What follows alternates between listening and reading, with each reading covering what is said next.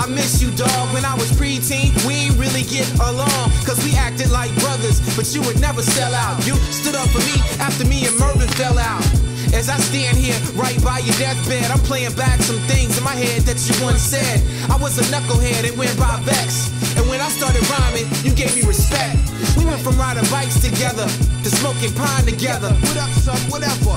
Now it's my mom pacing the hospital room, quoting scriptures, praying and hoping that the Holy Ghost equips you. It's a nice sized tumor wrapped around your artery.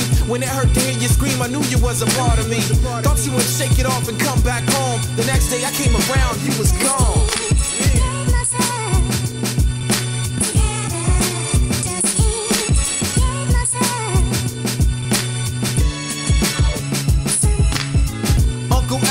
I miss you a lot. Back in the day, you put my